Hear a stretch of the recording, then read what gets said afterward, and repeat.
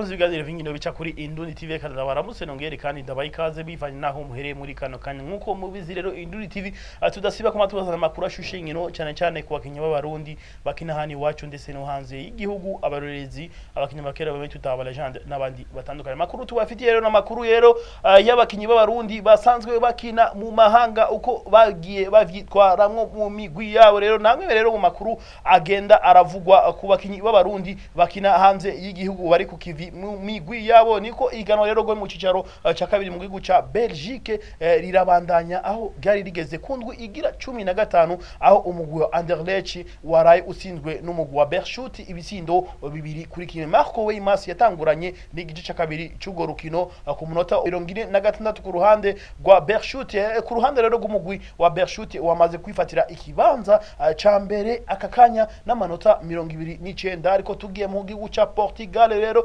bariko bakina indwi ya kabiri y'ihiganwa rya Atrasa da Liga aho umugwi wa Famalicao washoboye kunganya n'umugwi wa Academico igisindo uh, kimwe uh, ku busa. Nduwarugira Christophe Lucho yakinye iminota yose y'urukino ku ruhande rw'umugwi wa Academico ariko uh, mu gihugu ca Turkey ihiganwa ryo mu cicaro ca kabiri ryari ryabandanije ku ndwi yaryo igira cumi na gatanu aho umugwi wa Bolu Sport gusinda umugwi wa Sakarya Sport usanzwe ukinamo Patrick Kanyanga igisindo kimwe ku busa Kanyanga Patrick ntiyabonetse mu rutonde rw'urukino uh, ku ruhande rw'umugwi wa saka rya Sport. Aho nyine mu gihugu ca tiki tuzi la Sport yarayenganije n'umugwi wa Yeni marita Sport ubusa ku bundi. Aho uh, Joseph Shimirimana ntiyabonetse uh, mu rutonde rw'urukino uh, ku ruhande rw'umugwi wa marita Sport. Ariko mu gihugu cya Zambia bari bageze ku ndwi igira cumi na gatanu yiganwa ryo muri ico gihugu. Aho wa Green Eagles usanzwe ukinamwo abakinyi babiri b'abarundi Gilles Ulimengo hamwe na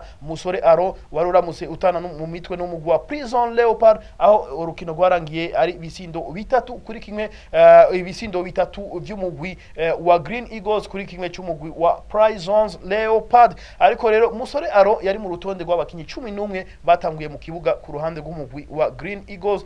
Mu gihe asubirizwa ku munota wa mirongo itandatu na gatandatu gatatu uh, mu gihe umugenzi we Gilles Ulimwengu wewe eh, yagumye ku ntebe y'abasubirira abandi. Aho nyene mu gihugu ca Zambia uh, umugwi wa Wilcon washoboye kunganya n'umugwi wa Zanaco Football Club. Murazi neza yuko uno mugwi wa Zanaco washoboye kugura umukinyi w'umurundi mu minsi iheze eh, Francis Njari rero ni Francis Njari rero yari ku rutonde rw'abakinyi cumi n'umwe batanguye ku kibuga ku ruhande rw'umugwi wa Zanaco. Asubirizwa ku munota wa mirongo indwi e, n'umunani. Aho nyene mu gihugu ca Zambia uh, nuko umugwi wa Napsa Star usanzwe ukinamwo Enoke Sabu Mukama washoboye kunganya n'umugwi wa Nkana Football Club usanzwe ukinamwo myugariro w'umugwi serukira gihugu inamba mu rugamba Derike Mukombozi. Derike Mukombozi rero yakinye iminota yose y'urukino ku ruhande rw'umugwi wa Nkana Football Club mu gihe uh, Enoke Sabu Mukama atabonetse ku rutonde rw'urukino uh, ku ruhande rw'umugwi wa Napsa Star mu gihugu ca Tanzania rero uh, mu gihugu ca Tanzania. Ihiganwa rikuru ryari ryabandanye ku ndwi igira cumi na kabiri aho umugwi wa Young Africans usanzwe ukinamo umukinyi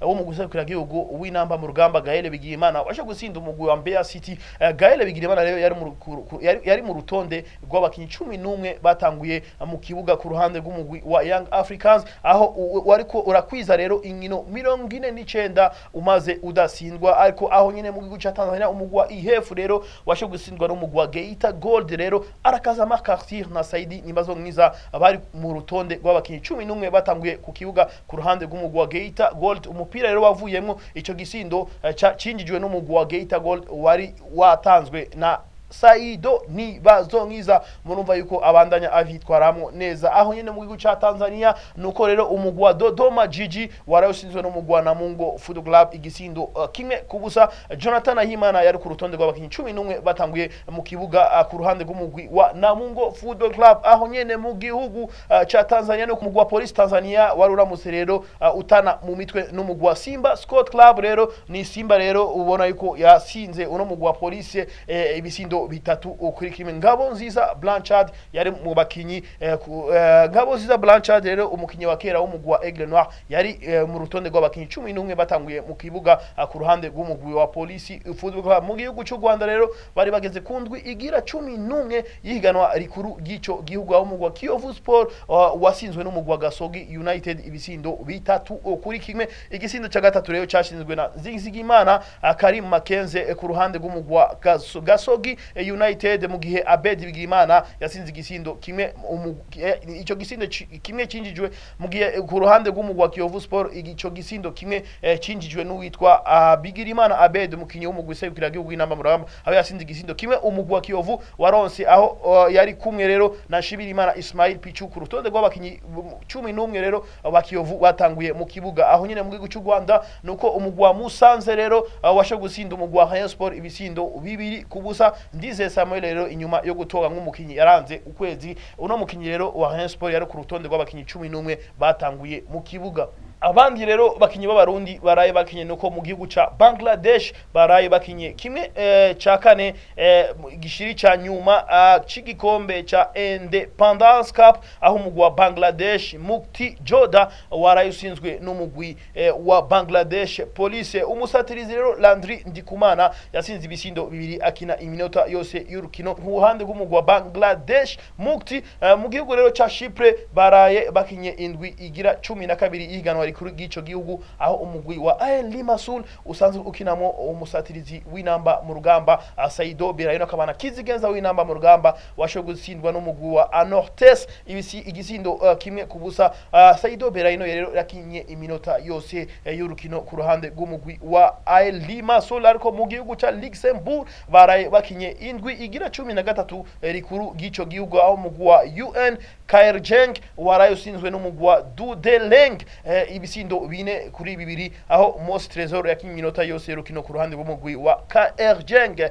rero ayo rero n'amakuru rero twari tubafitiye y'abakinyi b'abarundi basanzwe bakina mu mahanga. Ah, reka rero ndabashimire mwese mwashoboye kudukurikira muri benshi ndetse nkaboneraho na rero n'akagi ko kubifuriza umunsi mwiza. Mwibuke yuko ano makuru twayakuye ku kinyamakuru mwibuke yuko ano makuru twayakuye kuri sport ni- eh, desa 57 news. Reka rero ndabashimire mwese mwashoboye kudukurikira muri benshi ndetse nkaboneraho n'akaga ko kubifuriza umunsi mwiza mubandanye mukurikirana ibiganiro bica kuri Indoni TV